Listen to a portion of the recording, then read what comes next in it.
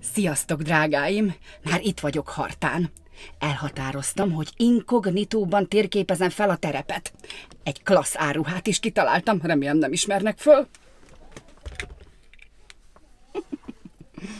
Na, mit szóltok? Irány a bolt?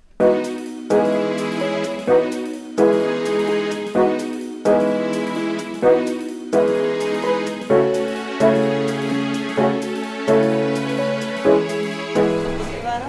napot! Egy gombóc epret kérek. Köszönöm.